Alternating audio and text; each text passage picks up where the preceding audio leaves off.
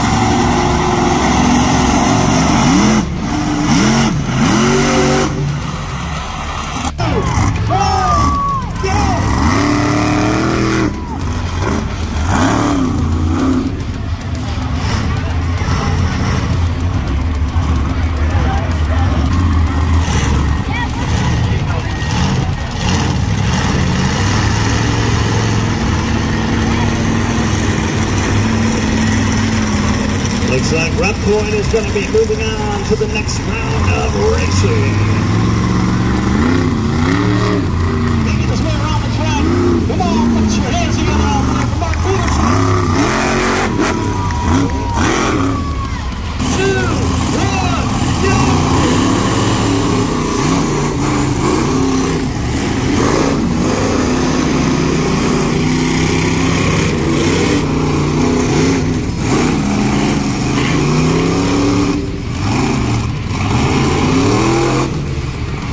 Woo!